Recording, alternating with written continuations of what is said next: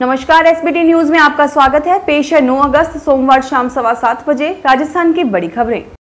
CM Ashok Gehlot ने कहा है कि साबरमती आश्रम को तोड़कर संग्रहालय बनाने का गुजरात सरकार का निर्णय चौंकाने वाला और अनुचित है। लोग इस पवित्र स्थल पर यह देखने आते हैं कि कैसे गांधी जी ने एक साधारण जीवन जिया और फिर भी समाज के हर वर्ग को लेकर एक विशाल स्वतंत्रता आंदोलन चलाया।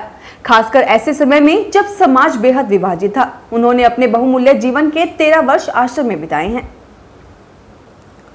अजमेर रेल मंडल में Jaipur, Udaipur, Jaipur holiday express train करीब डेढ़ साल बाद 16 अगस्त से फिर से संचालित होगी। भीलवाड़ा स्टेशन अधीक्षक राधेश्याम शर्मा ने बताया कि शून्य नौ सात दो एक जयपुर, उदयपुर हॉलिडे एक्सप्रेस जयपुर से 16 अगस्त को सुबह सवा छह बजे चलेगी। यह ट्रेन सुबह आठ बजकर बीस मिनट पर अजमेर और सुबह दस बजकर बीस मिनट भीलवाड़ा पहुंचेगी। भीलवाड़ा में दो मिनट का ठहराव रहेगा। यह ट्रेन डेढ़ बजे उदयपुर पहुंचेगी। मानसून की गतिविधियों में आ रहा परिवर्तन संकेत देने लगा है कि राजस्थान में अगले कुछ दिनों तक मौसम शुष्क रहने की संभावना है। ऐसे में पश्चिमी राजस्थान में तापमान फिर से उछाल मारेगा। मौसम विभाग की माने तो पश्चिमी राजस्थान के कुछ जिलों में तापमान 42 डिग्री के पास पहुंचेगा और अधिकतम तापमान 40 के आसपास बना रहेगा और प्रदेशवासियों को फिर से पसीना पसीना होना पड़ेगा। जापान की राजधानी टोक्यो में आयोजित ओलंपिक 2020 में भारत के अनेक राज्यों के खिलाड़ियों ने पदक जीते, लेकिन राजस्थान के खिलाड़ी चूक गए। क्योंकि सरकार नौकरियाँ तो दे रही है, लेकिन कोच व मैदानों पर ध्यान नहीं दिया जा रहा। यहाँ तक कि खेल विश्वविद्यालय का सपना दिखाकर भी सरकार भूल गई। राजस्थान के पहले खेल विश्वविद्यालय का खेल खत्म ही नहीं हो रहा। इसको लेकर सरकारें सालों से युवाओं को गुमराह कर रही हैं। राजस्थान सरकार के कला एवं संस्कृति विभाग के शांति एवं अहिंसा प्रकोष्ठ के निर्देश पर सोमवार को स्कूली बच्चों को बुलाकर झुंझुनू के गांधी पार्क सर्किल तक रैली निकाली गई। बड़ी संख्या में स्कूली बच्चे और अन्य लोगों की उपस्थिति के बीच इस आयोजन के साथ अगस्त क्रांति सप्ताह का आगाज़ हुआ। सप्ताह के तहत कई कार्यक्रमों का आयोजन किया जाना है। पहले दिन बड़ी संख्या में स्कूलों के स्काउट्स व गाइड की यह rally JP Janu senior secondary school से गांधी पार्क सर्किल तक कलेक्ट्रेट के हरी झंडी दिखाने के साथ शुरू हुई। आदर्श गाँव के तर्ज पर आदिवासी बाहुल्य जिलों में स्मार्ट विलेज बनाने के लिए राज्यपाल कलराज मिश्र ने निर्देश दिया था। इस पर सरकार की ओर से आठ जिलों में इकतालीस गाँवों का चयन तो कर लिया गया, लेकिन अभी तक प्रोग्रेस रिपोर्ट शून्य है। राजभवन की ओर से भी टीएडी को पत्र लिखकर प्रोग्रेस रिपोर्ट मांगी गई है, लेकिन अभी तक रिपोर्ट नहीं भेजी गई है। प्रदेश कांग्रेस कमेटी की ओर से आज अगस्त क्रांति दिवस के उपलक्ष्य में प्रदेश एवं जिला स्तर पर स्वतंत्रता सेनानियों एवं वरिष्ठ कांग्रेस जनों का सम्मान किया गया। जयपुर स्थित प्रदेश कांग्रेस मुख्यालय में सवेरे 11 बजे सम्मान एवं विचार गोष्ठी कार्यक्रम की शुरुआत हुई। इस मौके पर कांग्रेस नेताओं ने भाजपा पर निशाना साधते हुए कहा कि भाजपा नेताओं ने आज़ादी के आंदोलन में खून का एक कतरा तक नहीं बहाया। मुख्य सचेतक डॉक्टर महेश जोशी ने आज़ादी के आंदोलन में भूमिका निभाने वाले सेनानियों का आभार जताया और उनका आशीर्वाद लिया। पत्नी घूंघट में पति बगल में ये जमाने गए।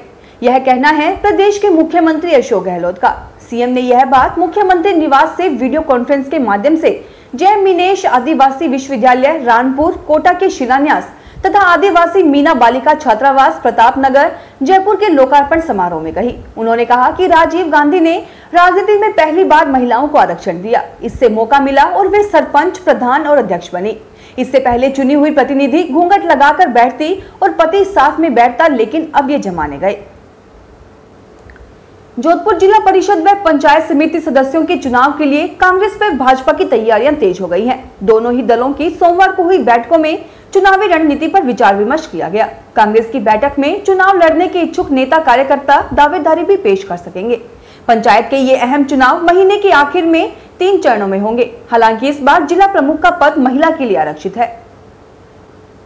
श्रावणी अमावस्या को जोधपुर शहर के विभिन्न क्षेत्रों में महिला संगठनों की ओर से आयोजित सावन उत्सव में महिलाओं ने उत्साह से भागीदारी निभाई। आज विश्नोई कमांडो फोर्स की ओर से बालाजी उद्यान प्रताप नगर में गुलमोहर, शीशम, खारी बदाम, अमरूद, बड़, पीपल, जामुन इत्यादि प्रजातियों के पौधे लगाए और कॉलोनी वासियों ने उनके साथ संभाल का जिम्मा लिया। दही कड़ा में, बालाजी धाम दही कड़ा में पौधारोपण किया गया। अभियंताओं के बीच वर्चस्व की लड़ाई एवं विवाद में घिरे भीलवाड़ा नगर विकास न्यास में राजमाता विजया राजे सिंधिया औद्योगिक नगर के निरस्त होने के बावजूद यहाँ के लिए आवंटित चार करोड़ रुपए की राशि एक कोलोनाइजर के कृषि योजना क्षेत्र स्थित कॉलोनी में नियम विरुद्ध खर्च करने का बड़ा मामला सामने आया है। चर्चा है कि इसमें न्यास के कुछ अधिकारियों व कर्मचारियों के करीबियों के नाम से भूखट भी है। समूचे मामले की शिकायत एसीबी के साथ ही जिला प्रशासन को भी की गई है। बसपा और निर्दलीय विधायकों को सरकार में महत्व मिलने के मुद्दे पर कांग्रेस में चल रही खींचतान खत्म होने का नाम नहीं ले रही। अलवर से पूर्व सांसद और किशनगढ़ बास से विधानसभा चुनाव हार चुके कांग्रेस नेता डॉक्टर करण सिंह यादव ने सवाल खड़े किए हैं। उन्होंने निर्दलियों और बसपा से कांग्रेस में आए विधायकों को सरकार में महत्व देने की बात कही है। उन्होंने यह भी कहा कि यह अशोक गहलोत सरकार की मजबूरी है। राज्यपाल के निर्देश पर विश्वविद्यालयों की ओर से गाँवों को गोद लेकर उनके डेवलपमेंट की ज़िम्मेदारी सौंपी गई। दूसरे चरण में 22 विश्वविद्यालयों की ओर से 22 गाँव गोद लिए गए, जिन्हें इकतीस दिसंबर तक मॉडल गाँव के रूप में डेवलप करना है।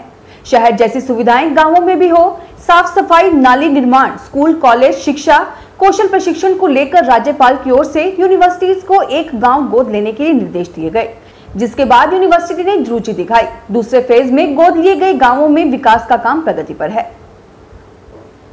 राजस्थान सरकार के अल्पसंख्यक मामला वक्फ एवं जन अभियोग निराकरण विभाग के मंत्री व पोखरण विधायक शाली मोहम्मद ने कहा कि जैसलमेर ज़िले में जल जीवन मिशन योजना के अंतर्गत करीब पंद्रह करोड़ रुपए की लागत से ग्रामीण क्षेत्रों में घर घर जल कनेक्शन दिए जाएँगे। इससे लोगों को स्वच्छ में मीठा पानी पीने को मिलेगा तथा ग्रामीण क्षेत्रों में पेयजल समस्या का भी स्थायी निराकरण होगा।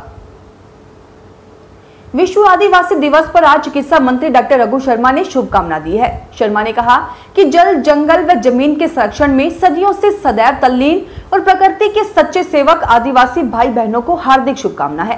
प्रदेश में आज विश्व आदिवासी दिवस मनाया जा रहा है।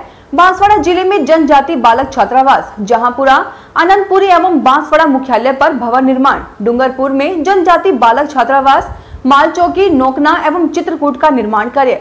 हरिदेव जोशी कैनाल के प्रथम चरण का जीर्णोद्वार कार्य का शिलान्यास हुआ। फ़िलहाल इस बुलेटिन में इतना ही, फिर हाजिर होंगे और बड़ी खबरों के साथ। एसपीटी न्यूज़ के वीडियो देखने के लिए हमारे चैनल को सब्सक्राइब करें और नोटिफिकेशन पाने के लिए बेल आइकन को प्रेस करें।